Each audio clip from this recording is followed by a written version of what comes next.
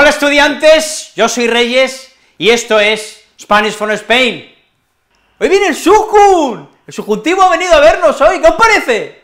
Pero también vamos a ver a indicativo, vamos a ver a subjuntivo y a indicativo.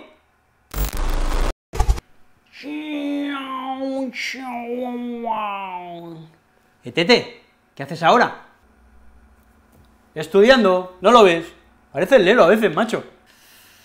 Una pena, una pena, una verdadera pena, porque mmm, iba a invitarte a comer, que voy con el paquillo a comer al japo este que han abierto aquí, enfrente, en la calle. Ok, vale, voy, pero antes de ir, deja que lea este párrafo. Vale, y antes de irnos, yo voy a cagar que hay que hacerle espacio al japo que nos vamos a comer ahora. Espera, espera, espera, espera. Antes de ir a cagar, déjame ir a mí a mear, que si no vas a dejar un tufo ahí en el aseo, que no hay que le aguante. Vale. Ya me cansé de vivir en Brasil, yo me voy a Pekín. Bueno, no os preocupéis, ¿vale? Porque es una clase sencilla, no va a doler, no va a escocer, no va a ser traumática. Vamos a ver el subjuntivo, pero lo vamos a ver con oraciones temporales, que irá el subjuntivo precedido de antes de qué, o indicativo irá precedido de antes de.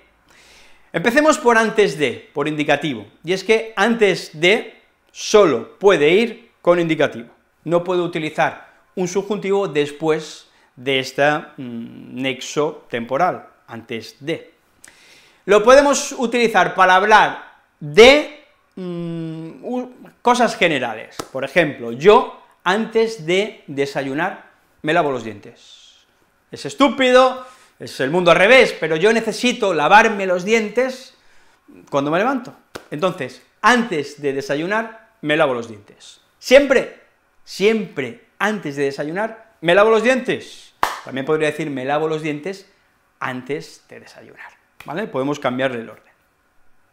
Podemos hablar también de pasado. Ayer me lavé los dientes antes de desayunar, como hago siempre, si es que yo eso lo hago siempre. E incluso podemos hablar de futuro. Le llamarás antes de que se vaya de viaje.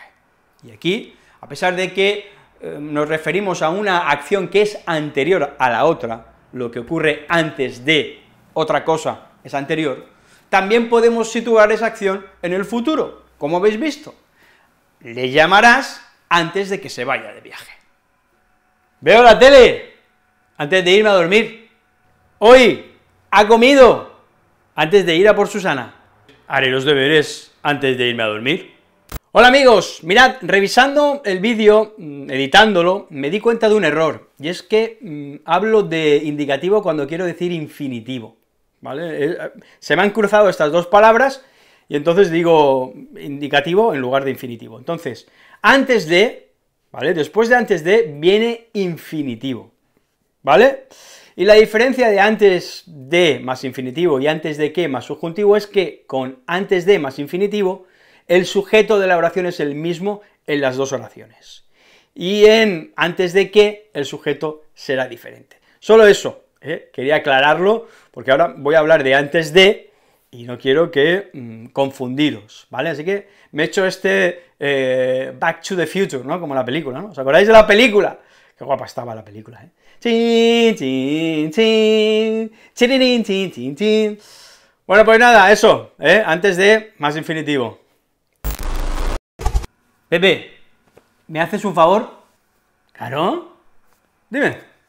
Esta noche no he dormido muy bien y quiero estudiar esta tarde, y para estar un poco más fresco, pues me voy a echar una siesta, ¿vale? Entonces, ¿tú me harías el favor de despertarme antes de que sean las 4, porque es que no tengo batería en el móvil y me quedo, no, encuentro, no encuentro el cargador.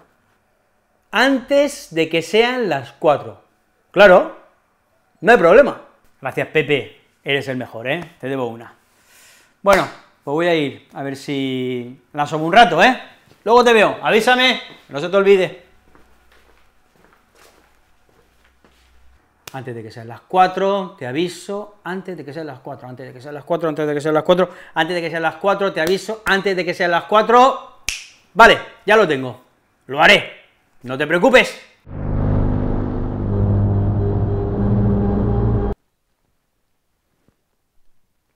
¡Pepe! ¿Qué hora es? Joder, mierda, se me ha olvidado avisarle. Yo me la miro antes de que me eche la bronca.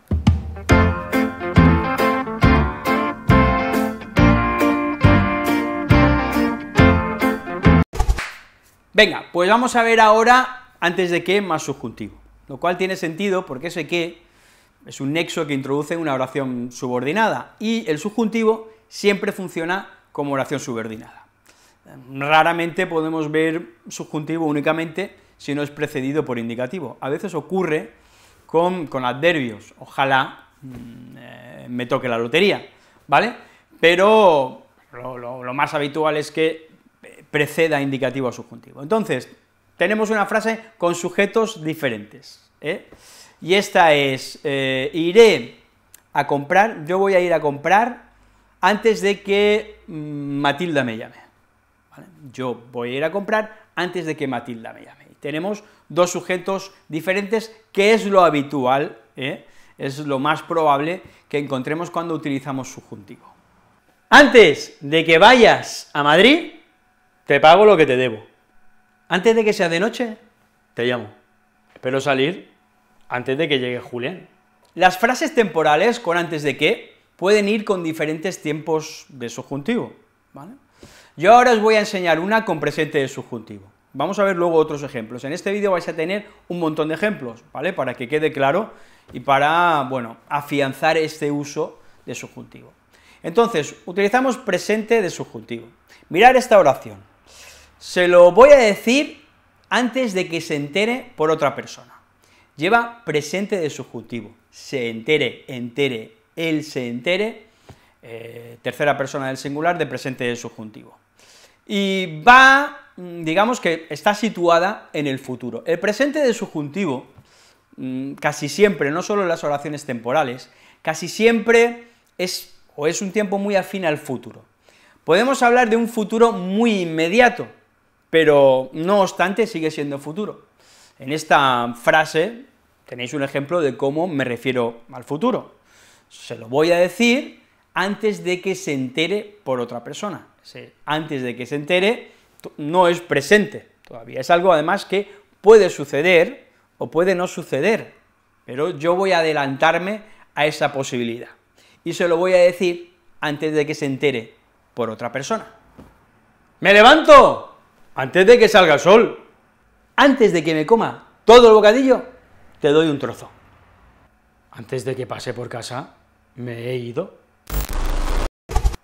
¿Qué pasa, Reyes? ¿Qué haces? Estoy haciendo un avión de papel. Me flipa hacer aviones de papel. Qué guapo te está saliendo, ¿no? ¿Desde cuándo haces aviones de papel? No sabía que supieras. Ay, hay muchas cosas que tú no sabes de mí, chaval. Antes de que tú nacieras, pequeños saltamontes, yo ya sabía hacer aviones de papel.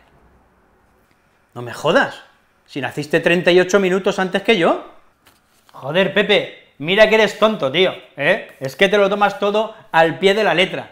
No quiero decir antes de que tú nacieras, obviamente, es una forma de hablar, pero que hace mucho tiempo que los hago. Ah, antes de que nacieras. Ah, esta me la apunto. Oye, ¿me haces un avión de papel también para mí? Por fin. Venga, ven, que te enseño a hacer uno si quieres. Si queremos referirnos al pasado, si queremos utilizar la acción en el pasado, entonces vamos a utilizar el pretérito imperfecto, el pretérito imperfecto de subjuntivo. A veces también puede ir mm, acompañado de mm, el tiempo verbal condicional. El tiempo verbal condicional, el condicional y el imperfecto del subjuntivo son dos tiempos verbales que se llevan muy bien, ¿vale?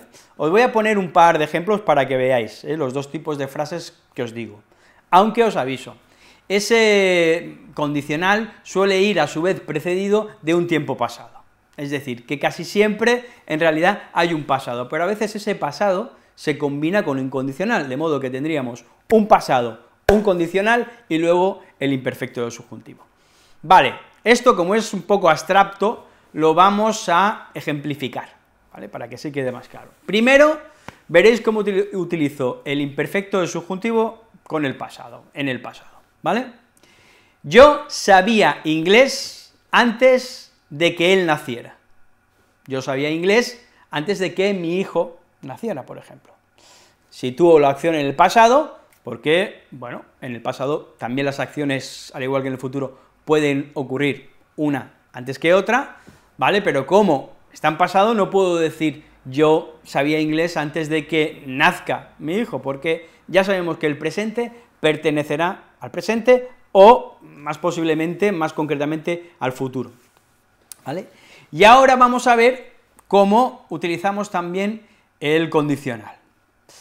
Ya sabía yo que lloraría antes de que llegara su madre, ya sabía yo que lloraría, que el niño o el bebé lloraría antes de que llegara su madre, ¿vale? Pues aquí veis cómo utilizo condicional y después hay imperfecto de subjuntivo, pero la clave aquí está en que normalmente ese condicional estará precedido, a su vez, de un tiempo pasado. Ya sabía yo que el niño lloraría, pensé que el niño lloraría antes de que llegara su madre, eh, yo creía que el niño lloraría, me imaginé que el niño lloraría, bueno, podemos utilizar, obviamente, más verbos, frases diferentes, pero ese condicional, que a veces puede aparecer en estas frases, va a ir precedido de un pasado. Son frases un poquito más complejas, de las que mm, os voy a dejar unos ejemplos ahora, y de las que yo os aconsejaría que dejaseis algunos ejemplos aquí, ¿vale?, en los comentarios. Decís, Borreyes, estas son mis frases, ¿eh?, donde utilizáis un pasado, el condicional y luego el imperfecto del subjuntivo. Ya veréis cómo así os resulta más fácil luego recordar, bueno, pues esta, eh, este, este conjunto, ¿vale?, de tiempos verbales y de usos del subjuntivo. El perro comió antes de que le quitaran la comida. Mi hermana tuvo a mi sobrino antes de que llegara al hospital.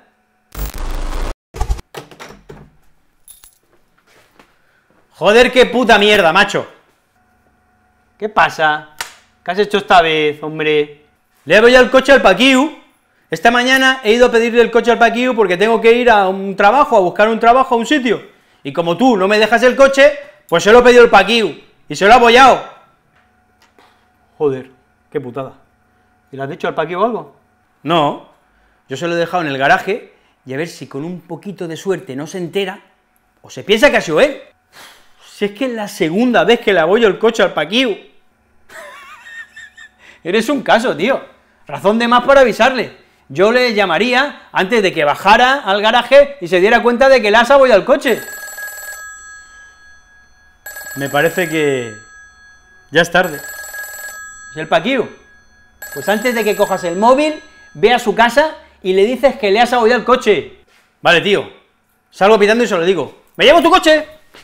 ¡Y el coche no, eh! ¡El coche no! ¿Será cabrón? Se lleva mi coche. Antes de acabar el vídeo, mm, antes de que el vídeo se acabe, fijáis cómo lo utilizo, ¿eh?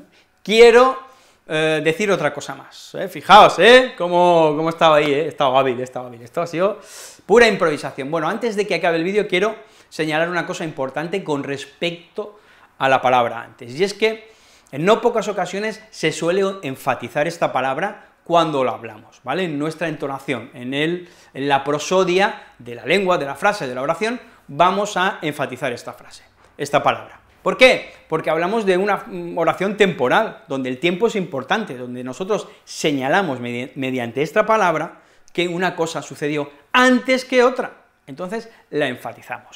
Antes de que llegaras, eh, yo ya había limpiado toda la casa. ¿eh? No ocurrirá eso nunca con Pepe, no caerá esa breva, pero bueno, a ver si cruzamos los dedos, a ver si hay suerte, ¿no?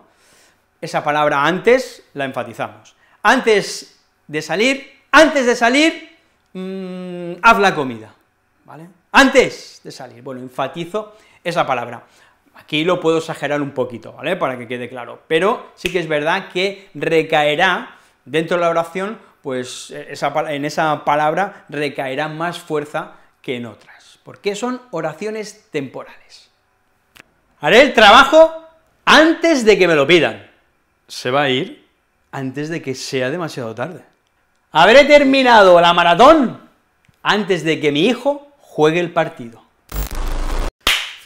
Bueno, estudiantes, si os ha molado la clase, ¿eh? que yo creo que sí, pues le das al like, os suscribís y comentáis. Ya sabéis que mm, hay que interactuar con el canal. Los canales tienen que crecer, son como los bebés, ¿verdad? Los bebés que siempre tenemos que darle comida, la leche, ¿eh? que duerman bien, ¿eh? para que crezcan, bueno, pues los canales de YouTube también.